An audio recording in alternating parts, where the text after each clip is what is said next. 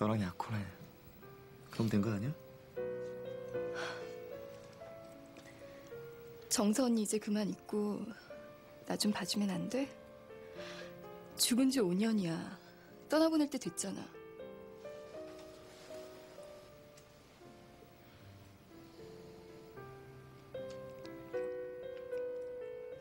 거짓말이라도 좋으니까 사랑한단 말 한 번 해주면 안 돼?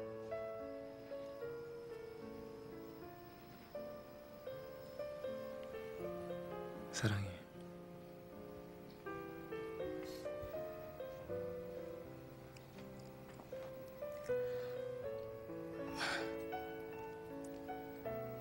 좋아요. 기다릴게요. 하지만 창사 기념일날 우리 약혼 발표할 때까지만이에요.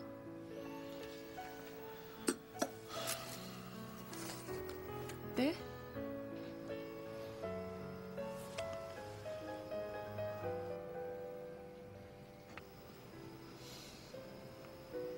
안 가? 가요.